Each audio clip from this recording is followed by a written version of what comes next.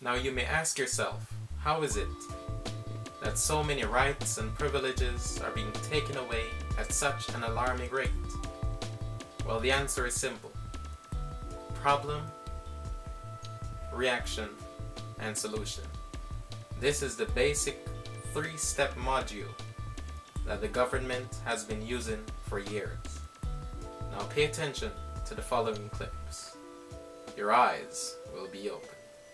I'm CBS News investigative correspondent Sharyl Attkisson, and tonight on the CBS Evening News, we have an extraordinary follow-up to the story that we broke last week, with allegations that ATF agents who are supposed to stop guns from crossing the border into Mexico were instead ordered to let them cross. We will hear from an insider who's telling us on the record and on camera how it worked that thousands of guns were allowed to go into the hands of suspected criminals, with ATF knowing that they would turn up in drug cartels in Mexico where they'd be used in crimes.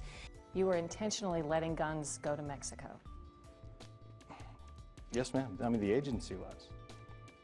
An alcohol, tobacco, and firearms senior agent assigned to this Phoenix office since 2010, Dodson's job is to stop gun trafficking across the border.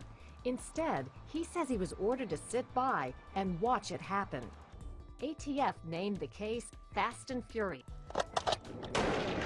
Did you feel that ATF was partly perhaps to blame for the escalating violence in Mexico and on the border?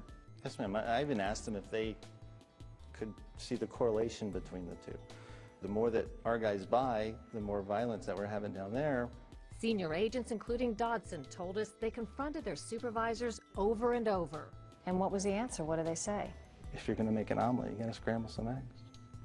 There was so much opposition to the gun walking that an ATF supervisor issued this email noting a schism among the agents.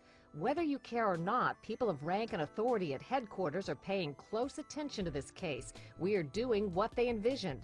If you don't think this is fun, you're in the wrong line of work.